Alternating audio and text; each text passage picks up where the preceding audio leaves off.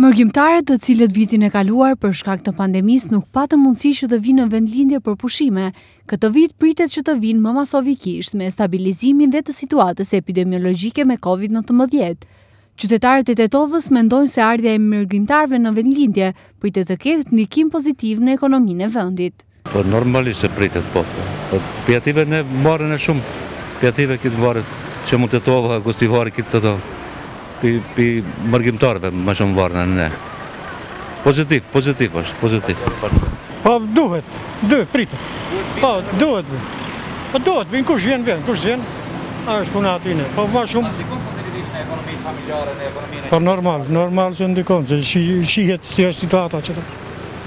Pakës, pakës nëse vijnë ata menjëherë ndryshon klima, si të thashë, edhe ekonomisë.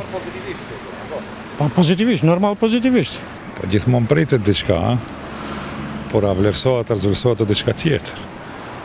Po s'e dimë sivjet çështja ekonomike, pandemia e bën të veten.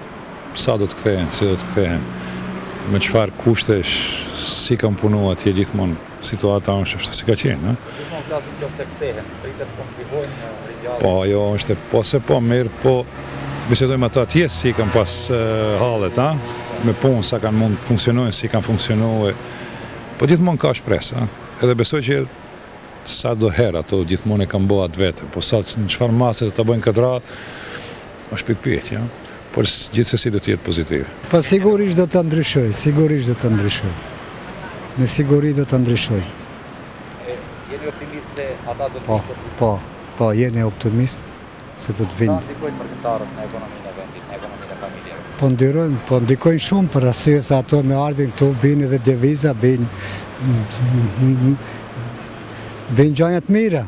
Të dhënat zyrtare nga Banka Qendrore tregojnë se vitin që lamë pas, edhe pse mërgimtarët nuk kanë qenë prezent, ata kanë sjellë mbi një pikë pesë miliardë euro përmes transferave, ndërsa me ardhjen e tyre këtë vit, kjo shumë pritet të kalojë dy miliardë euro, thotë akademiku Abdylmenaf Bexheti. Viti i kaluar për shkak të mbylljes së shtetit, por para së gjithash edhe mbylljes së shteteve andej ku punojnë diaspora jonë, kishim megjithatë një mungesë të ardhjes së tyre, por jo edhe përcjelljes së remitencave apo edhe transfertave. Vitin e kaluar, sipas raporteve zyrtare të Bankës Qendrore, ku nuk bëjnë pjesë edhe ato pjesë jo formale që i bien nëpër xhepa personalisht njerëzit, kemi shënuar një arkëtim prej rreth një pikë pesë miliardë euro mbrenda vitit dy mijë e njëzet, në kushte pandemie.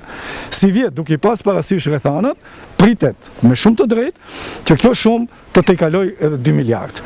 Keni parasysh, është më shumë se njëzet për qind e produktit bruto të brendshëm. Dhe asnjë komponent tjetër nuk ndikon kaq shumë sa përfitimet nga diaspora jonë, për cilën shteti s'bën gati asgjë. Për të mos thënë bile edhe i anatemon, edhe shpesh herë i pret në sahat t'i dënojë, t'i sanksionojë ata në një mënyrë e mbajnë gjallë posaçërisht këtë rajon veriperëndimor që është dominant. Dhe Me siguri që edhe politikat e veta shteti duhet t'i korrigjojë ndaj tyre, së paku në sjelljen ndaj tyre, së paku në shërbimet kur vijnë ata, të mos i presin rendet për një pasaportë me javë të tëra dhe që është duke i shikanu. Sivjet pritet një eksplodim edhe për shkak situatës të mallëngjimit të tyre që nuk kanë mund fizikisht të vijnë.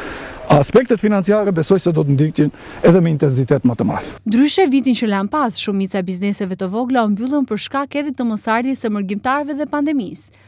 Qeveria, deri më tani, ka ndarë gjashtë pako ekonomike, me të cilat është mundësuar që të zbutet kriza ekonomike dhe papunësia, ndërsa bizneset në anën tjetër thonë se në masat ekonomike nuk kanë përfshirë të gjithë sektorët.